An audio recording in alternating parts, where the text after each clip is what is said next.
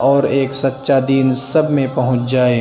अल्लाह हमारे भी इल्म को बढ़ाए, शौक़ ज़ौक़ को बढ़ाए, वरना हम जैसे जाहिल लोग हैं कि अमल कोई नहीं करते, बस फ़िरका परस्ती में पड़े रहते हैं। कोई वहाबी, देवबंदी, सुन्नी, बरेलवी, ये सब जन्नत में नहीं ले जाएँगे। जन्नत में जाने वाला अमल तो जो कुरान व हदीस से साबित है।